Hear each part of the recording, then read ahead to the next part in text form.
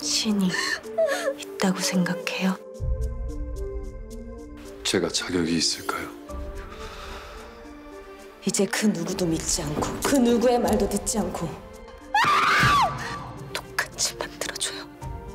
할 수 있겠어요? 위험한 약속.